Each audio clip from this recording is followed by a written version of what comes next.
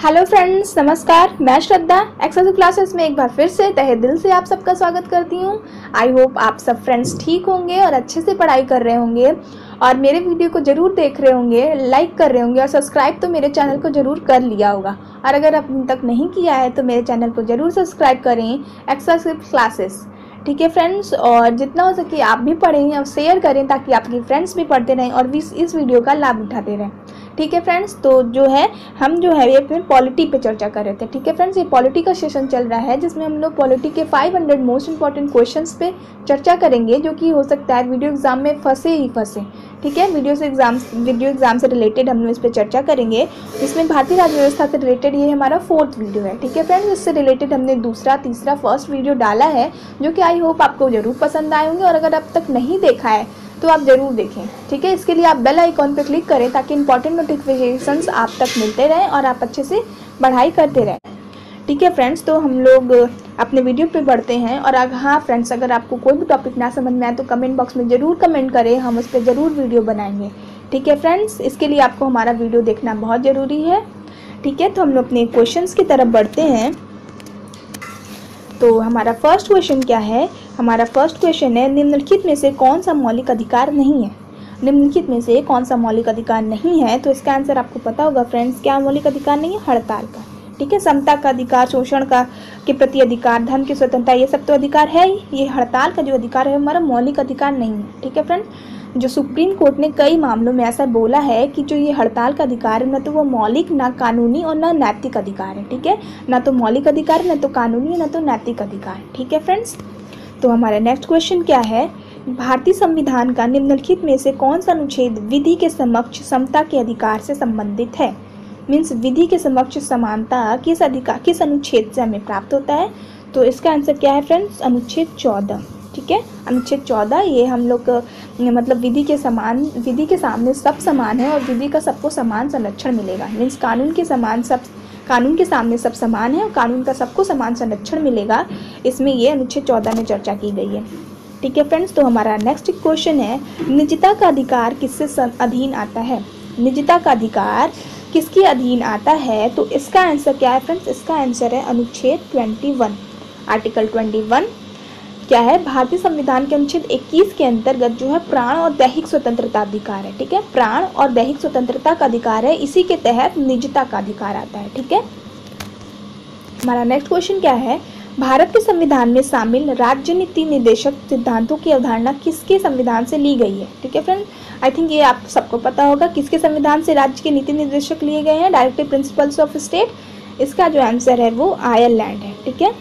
Ireland. हमने जो पिछले वीडियो में बताया था कि हमारा जो संविधान है, वो देश हमारा जो है, सारे संसार में, पूरे विश्व में सबसे बड़ा संविधान जो है, भारत का लिखित संविधान है।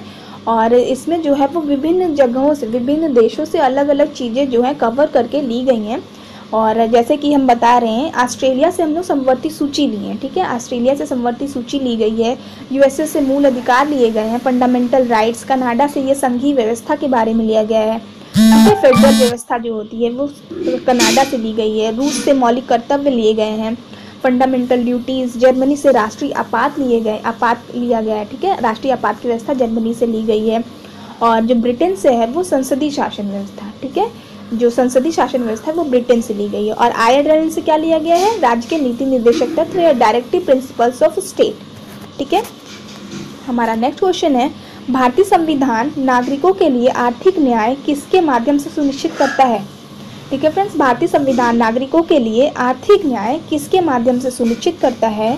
तो इसका आंसर क्या है फ्रेंड्स राज्य के नीति निर्देशक तत्व। ठीक है, राज्य के नीति निर्देशक तत्व के माध्यम से जो है वो हमारा ये मौलिक अधिक, नागरिकों के आर्थिक आर्थिक न्याय सुनिश्चित करता है। ठीक है फ्रेंड्स और ये जो है न्यायालय में वाद योग्य नहीं है। जो मौलिक अधिकार है, उसके लिए हम न्यायालय में वाद कर सकते हैं, लेकिन ये न्यायालय में वाद योग्य नहीं है। और के टी शाह ने, जो के टी शाह है, इस विषय में, इस पर एक बहुत फ़ेमस लाइन बोली, जो कि आता है कि ये लाइन किसके द्वारा बोली गई थी? तो इसमें इन्होंने बोला था कि it looks like it looks to me a cheque on a bank payable one able it looks to me a cheque on payable on a bank payable when able ठीक है? तो नेक्स्ट क्वेश्चन की तरफ़ बढ़ते हैं। ग्राम राज्य के माध्यम से राम राज्य के बारे में किसने कहा था? ग्राम राज्य के माध्यम से राम राज्य के बारे में किसने कहा था? तो इसका आंसर क्या है फ्रेंड ये आप सबको पता होगा, इसका आंसर है महात्मा गांधी। ठीक है? महात्मा गांधी। ठीक है? गांधी जी ने क्या कहा था कि ग्राम राज्य के माध्यम से वो राम राज्य लाने की संकल्पना की थी, ठीक है? कि वो एक ऐसी संकल्पना प्रस्तुत की थी कि ग्राम राज्य के माध्यम से हम हम लोग राम राज्य लाएँगे। नेक्स्ट क्वेश्चन है, उपराष्ट्रपति पदेन अध्यक्ष है। उपराष्ट्रपति पदेन अध्यक्ष होता है। किसका पदेन अध्यक्ष होता है?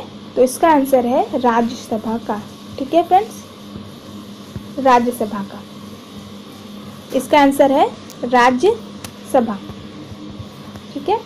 और ये जो होता है संविधान के अनुच्छेद 189 ए, ठीक है? 189 ए के तहत भारत का जो उपराष्ट्रपति होगा, भारत का जो उपराष्ट्रपति होगा, वो राज्यसभा का पदेन सभापति होगा, ठीक है? भारत का उपराष्ट्रपति उपराष्ट्रपति भारत का राज्यसभा का पदेन सभापति होगा, ठीक है? इस समय जो हमारे उपराष्ट्रपति कौन है? वकैया नायडू, ठीक है? वकैया नायडू इस समय के उपराष्ट्रपति हैं और वही राज्यसभा के पदेन सभापति हैं। नेक्स्ट क्वेश्चन है निम्नलिखित किस, किसने दो पूर्ण अवधियों तक भारत के उपराष्ट्रपति का पद संभाला है? किसने दो पूर्ण अवधियों तक उपराष्ट्रपति का पद संभाला है? तो इसका answer friends S Radha Krishnan ठीक है? एस राधा कृष्णन और इन्होंने 1952 से 1957 और 1957 से 1962 ठीक है, ये पाँच पाँच साल तक, लगभग दो बार तक पूर्ण अवधियों तक अपना पद संभाला है। और ये first vice president of India भी थे, ठीक है? First vice president of India थे और 1954 में इनको भारत रत्न से सम्मानित किया गया था। 1954 में इन्हें भारत रत्न से सम्मानित किया गया था first vice president of India S Radhakrishnan Bharat का राष्ट्रपति किसका एक अभिन्न भाग है? भारत का राष्ट्रपति किसका एक अभिन्न भाग है तो इसका आंसर क्या है फ्रेंड संसद, ठीक है? संसद, क्योंकि संसद जो है वो संसद के तीन महत्वपूर्ण अंग होते हैं। एक राज्यसभा, एक लोकसभा और एक राष्ट्रपति। राज्यसभा, लोकसभा और राष्ट्रपति, ठीक है? राज्यसभा को उच्च सदन कहते हैं और लोकसभा को निम्न सदन कहते हैं। इन तीनों से मिलकर जो होता है, ये संसद बनता है। राष्ट्रपति, राज्यसभा, लोकसभा। राष्ट्रपति द्वारा संसद के लिए एंग्लो इंडियन समुदाय के कितने सदस्यों को नामित किया जा सकता है? ठीक है? तो इसका आंसर क्या है फ्रेंड्स? दो। एंग्लो इंडियन दो एंग्लो इंडियन को राष्ट्रपति द्वारा नामित किया जा सकता है। नेक्स्ट क्वेश्चन है, राज्यसभा के सदस्यों का निर्वाचन कितनी अवधि के लिए होता है? राज्यसभा के सदस्यों का निर्वाचन कितनी अवधि के लिए होता है? तो इसका आंसर है फ्रेंड छः वर्ष। ठीक है? छः वर्ष के लिए। ठीक है? इसकी अधिकतम संख्या जो होती है वो 250 होती है। इसके सदस्यों की अधिकतम सीम संख्या जो है 250 होती है और ये एक स्थायी सदन है, ठीक है? इसका विघटन नहीं होता है। एक स्थायी सदन है, जैसे लोकसभा का विघटन होता है, इसका विघटन नहीं होता है। और एक स्थायी सदन है, इसमें एक तिहाई सदस्य जो है, वो हर दो वर्ष की अवधि पर, हर दो वर्ष की समाप्ति पर निवृत्त होते रहते हैं। हर दो दो वर्ष पर एक बटा तीन सदस्य निवृत्त होते रहते हैं और पूरा कार्याल कार्यकाल छः वर्षों का होता है।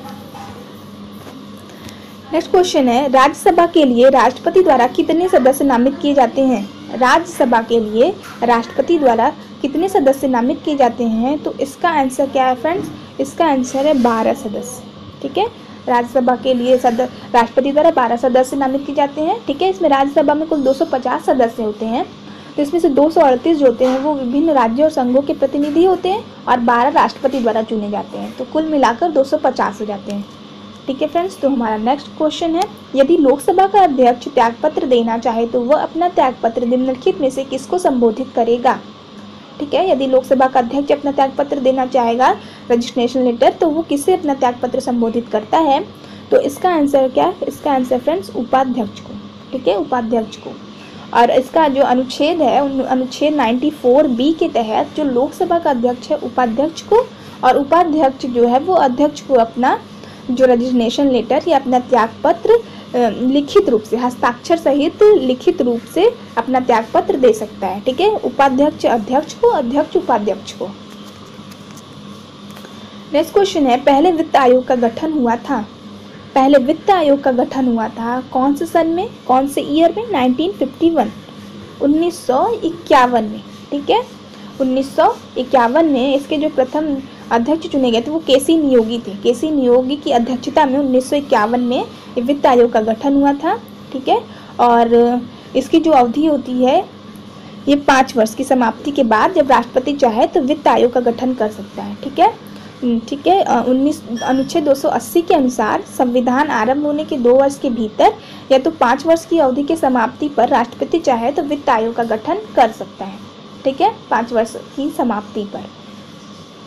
और उन्नीस सौ इक्यावन में, उन्नीस सौ इक्यावन में इसका जो है फ़र्स्ट गठन हुआ था। लोक सेवा, लोक, संघ लोक सेवा आयोग के सदस्यों की नियुक्ति किसके द्वारा की जाती है? संघ लोक सेवा आयोग के सदस्यों की नियुक्ति किसके द्वारा की जा सकती है?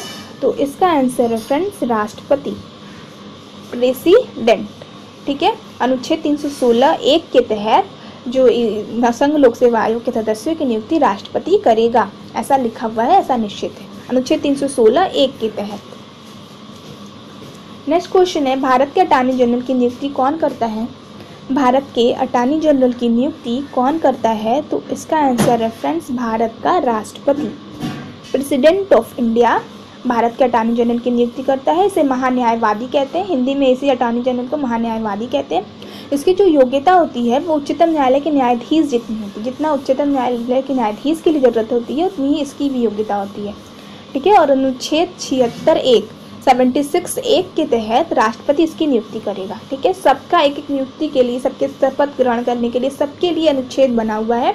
और अनुच्छेद छिहत्तर एक के तहत राष्ट्रपति जो है, भारत के अटॉर्नी जनरल की नियुक्ति करता है। नेक्स्ट क्वेश्चन है, देश की सशस्त्र सेनाओं का सर्वोच्च कमांडर इन चीफ है। देश की सशस्त्र सेनाओं का सर्वोत्तम कमांडर इन चीफ है तो ये भी आपको पता होगा, ये है भारत का राष्ट्रपति। ठीक है? भारत का राष्ट्रपति जो होता है, वो तीनों सेना का प्रधान होता है। ठीक है? जल सेना, स्थल सेना वायुसेना तीनों सेना का प्रधान जो होता है, वो राष्ट्रपति होता है। ये जो होता है, वो देश का प्रथम नागरिक होता है। ठीक है? राष्ट्रपति जो होता है, देश का प्रथम नागरिक होता है। और आपको सबको पता ही होगा, वर्तमान राष्ट्रपति श्री रामनाथ कोविंद जी हैं और जो डॉक्टर राजेंद्र प्रसाद थे, वो तीन कार्यकाल तक राष्ट्रपति रहे हैं, ठीक है? जो डॉक्टर राजेंद्र प्रसाद हमारे फ़र्स्ट प्रेसिडेंट थे, वो तीन कार्यकाल तक राष्ट्रपति रहे हैं। एकल हस्तांतरणीय मतदान पद्धति में हर मतदाता व्यक्त कर सकता है। एकल हस्तांतरणीय मतदान पद्धति में हर मतदाता व्यक्त कर सकता है। कितने? उतने विकल्प जितने प्रत्याशी हैं, उतने विकल्प जितने चुनाव में प्रत्याशी हैं, ठीक है? और इसी आधार पे भारत के राष्ट्रपति और उपराष्ट्रपति का चुनाव होता है, ठीक है? इसी आधार पे भारत के राष्ट्रपति और उपराष्ट्रपति का चुनाव होता है, ठीक है फ्रेंड्स जो कुछ बच्चे हैं, जो हमारे वीडियो को हमेशा देखते हैं उसमें हम कितनी बार बोलें कि अगर कोई भी टॉपिक ना समझ में आए तो ज़रूर आप कमेंट बॉक्स में कमेंट करें। तो एक लड़के ने कमेंट किया था कि, मैम, झूम की खेती के बारे में बताइए। तो हम इस पर झूम की खेती के बारे में चर्चा करेंगे, ठीक है फ्रेंड्स तो चलिए, झूम की खेती क्या होती है? झूम की खेती एक आदिम प्रकार की कृषि है, ठीक है? एक आदिम प्रकार की कृषि है, इसमें वृक्षों और वनस्पतियों को काट कर, एक जगह के वृक्षों, वनस्पतियों को काट दिया जाता है, उसे जलाकर वहाँ की भूमि साफ़ कर ली जाती है। फिर उसमें पुराने मेथड से लकड़ी व हलों की सहायता से जुताई करते हैं और बीज बोते हैं, ठीक है? ये मेनली जो है नेचर पर डिपेंडेंट होती है, इसलिए इसमें जो प्रोडक्शन हो पाता है, वो बहुत कम हो पाता है, ठीक है? इसमें क्या करते हैं कि आप प्रोसेस अपनाते हैं। इसमें हम लोग कुछ वर्षों तक एक जगह पे खेती करते हैं, एक ज़मीन पे, वहाँ की वहाँ की वनस्पति और वृक्षों को काट कर वहाँ सफ़ाई करके एक जगह खेती करते हैं। फिर धीरे धीरे जब दो साल, तीन साल में उसकी उर्वरकता मिट्टी की ख़त्म हो जाती है तो पुनः दूसरी भूमि की तलाश में लग जाते हैं। ठीक है, दूसरी भूमि को खोजते हैं, वहाँ की वनस्पतियों को जलाते हैं, वहाँ सफ़ाई करके वहाँ पे कृषि करते हैं। इस प्रकार से नए नए जगह पे स्थानांतरित होकर कृषि करते रहते हैं और जो पुरानी भूमि होती है, उसको छोड़ देते हैं, ताकि वहाँ पे फिर से नए पेड़ पौधे वृक्ष उग जाएँ, ताकि उसकी उर्वरकता फिर से आ जाए। ठीक है, इसी प्रकार स्थानांतरित करते करते झूम की खेती की जाती है, इसलिए इसे स्थानांतरित कृषि या शिफ्टिंग कल्टिवेशन भी कहते हैं, ठीक है? और इसी झूम की खेती के हर जगह अलग अलग नाम है। जैसे श्रीलंका में इसको चेना कहते हैं, ठीक है? श्रीलंका में इसे चेना कहते हैं, रोडेशिया में इसे मिल्पा कहते हैं और इस खेती में जो इंडिया की बात करें झूम की खेती जो इंडिया में होती है, वो पहाड़ों में, विशेषकर मेघालय में और अरुणाचल प्रदेश में, जैसे पूर्वोत्तर राज्य में होती है। मेघालय और अरुणाचल प्रदेश जैसे पूर्वोत्तर राज्य में झूम की खेती होती है। इसे उड़ीसा में और आंध्र प्रदेश में पोड़ू कहते हैं, ठीक है? इसे उड़ीसा और आंध्र प्रदेश में पोड़ू कहते हैं, मध्य प्रदेश में बेवर कहते हैं और केरल में पोनम कहते हैं, ठीक है? हमारे इंडिया में भी इसका अलग अलग नाम है, विदेशों में अलग अलग नाम है। झूम की खेती सिर्फ़ जो इंडिया की विशेषता नहीं है, इंडिया में ही नहीं होता, ये विदेशों में भी होता है। हर जगह इसकी मांग है या हर जगह इसी खेती की जाती है, ठीक है? धीरे धीरे लेकिन अब इस खेती की भी वो ख़त्म हो रहा है धीरे धीरे इस प्रकार की खेती भी ख़त्म हो रही है। Thank you for watching this video friends अगर आपको मेरा वीडियो पसंद आता है तो आप लाइक करें, हमारे चैनल को सब्सक्राइब करें बेल आइकॉन को दबाएँ, ताकि इंपॉर्टेंट नोटिफिकेशंस आप तक पहुँचते रहें और आप एक भी वीडियो को मिस ना करें। ठीक है फ्रेंड्स मेरी हमेशा यही प्रयास रहेगा कि आपको अधिक से अधिक समझ में आए, आप अधिक से अधिक क्वेश्चंस करके आएँ। और अगर कोई टॉपिक ना समझ में आता है तो आप ज़रूर कमेंट करें। ये हमारी रिक्वेस्ट है कि आप ज़रूर कमेंट करें, उस पर हम बात करेंगे, उस पर चर्चा करेंगे और अपनी वीडियो के साथ उसको ज़रूर इंक्लूड करेंगे। तब तक के लिए वीडियो देखते रहें और पढ़ते रहें। Good bye bye